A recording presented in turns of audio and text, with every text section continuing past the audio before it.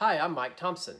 In this video, I'm going to show you five quick projects that I did that I simply didn't film at the time or weren't worthy of their own video. This one is number four. Number one, the wall-mounted burner. When we took our stove apart, I had a lot of parts left over, and so I raided this parts box for a burner and made this.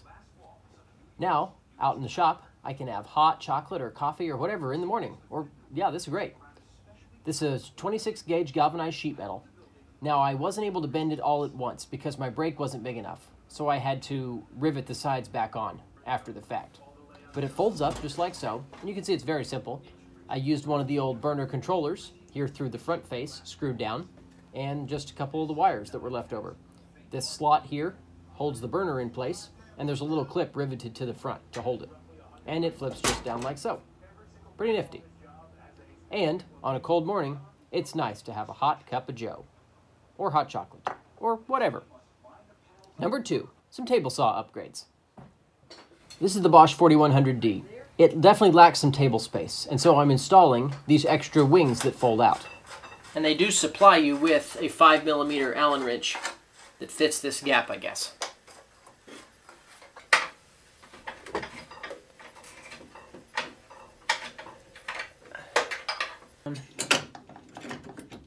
Get everything here aligned. Get it finger tight. This flat here on the short front rod has to be in line with that little screw hole so that I can tighten my thumb screw down and lock this rod in place. So now I've got to make sure that this wing is flush here with this piece of wood. Excellent.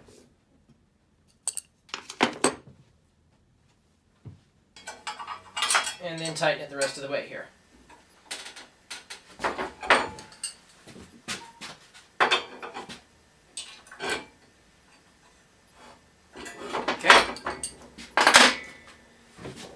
Now, I've got these in the brackets. I've got the front and back E-clips in place so that this has travel limits there and there. Well, that's pretty awesome. Cool. Now, let me check something. All right, that'll work.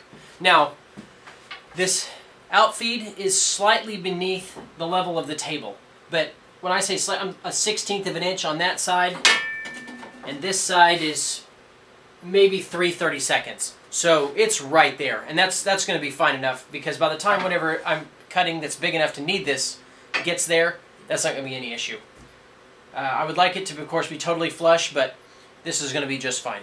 And this has a nice kind of, you know, curved edge here and almost even a ramp so that if something does tend to kind of dive off the edge, it should come back up and it'll catch it and send it on its way.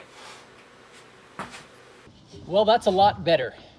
I still can't quite cut a full piece of Baltic birch plywood entirely, but these things help an awful lot.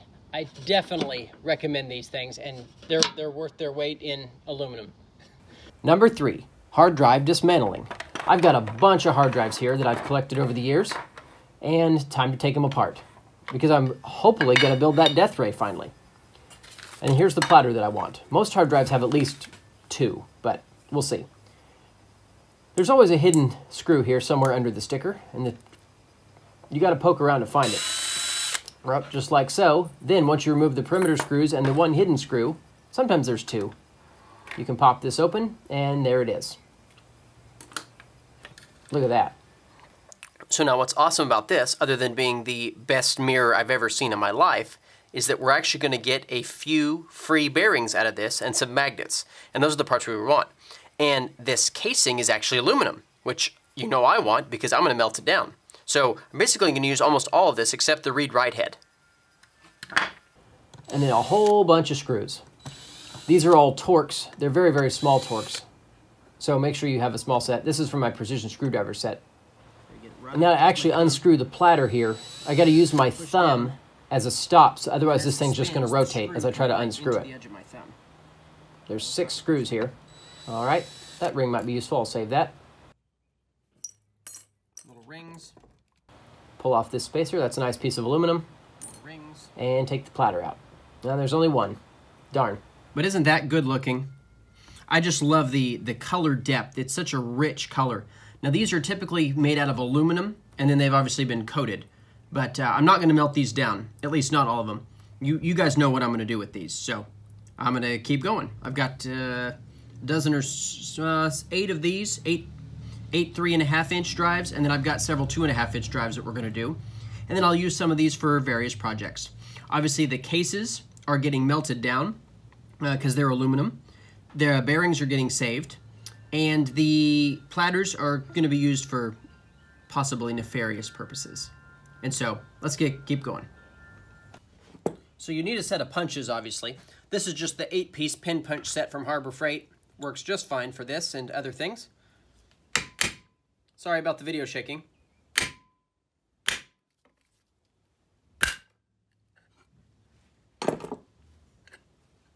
Okay, so here you can see the coils.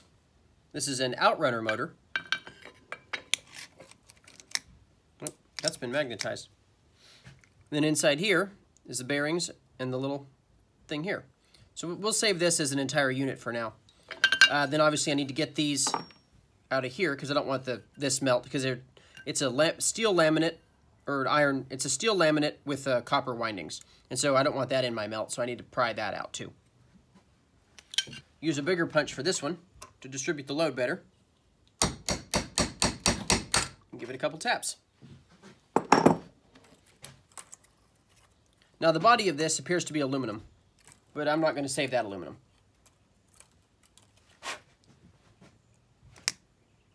And there's that bearing right there.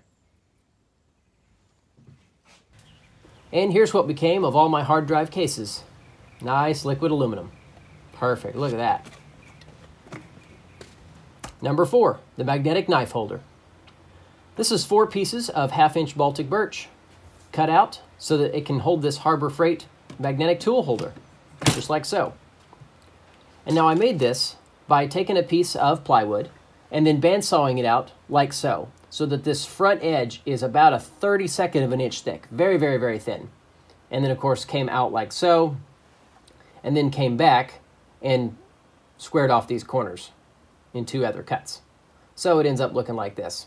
I'm sorry I didn't film this at the time, but you know, that's kind of the point of this. I made two of these and then sandwiched these two between two that I didn't cut. And so it looked, you know, like that in the middle. It's much easier than like hollowing it out. And so I lay my magnet in there and then put the piece of Velcro, sticky back of course, on top of that magnet. And then I'll put the mating piece on the other side. Not too bad. Okay. Oh, nope. There we go. Now I'll lay this out here like so.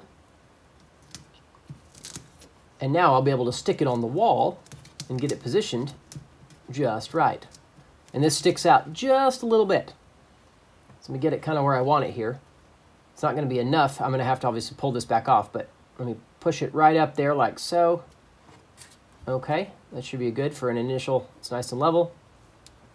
That's a pretty good initial tack. I'll pull this back off so I can get that stuck down. Okay. Now I can really push it on there. And of course, since it's just Velcro, it's not permanent at all. And I can easily take this back off later if I need to. I'm a big fan of non-permanence. Although I have been married 12 years, so I guess that doesn't always apply. And put this back on top. Perfect. And now I can stick my knives. Look at that. And there's a set of scissors that go somewhere. I, I don't know where they are at the moment. Number five, the pocket chocks. So these wooden chocks weigh 1.34 pounds. Now that's not much, but when you're flying near gross weight, every ounce counts. And so, some 3D printed little snazzy things like this solve the problem. These only weigh a couple ounces total for both of them. So, they fold up just like so. You can see it's got notches here for all the hinge pins so that they can clear. And they unfold just like this, boop, and they slip in, boop, just like that. No, they don't actually make sounds. And it does the job. And we all had an awful lot of fun. Especially the boys, because it was their first time. But hopefully this inspires you guys and gives you some ideas about ways you could maybe solve your own problems. Go ahead and subscribe if you haven't already. I'm Mike Thompson, and thanks for watching. I really appreciate it.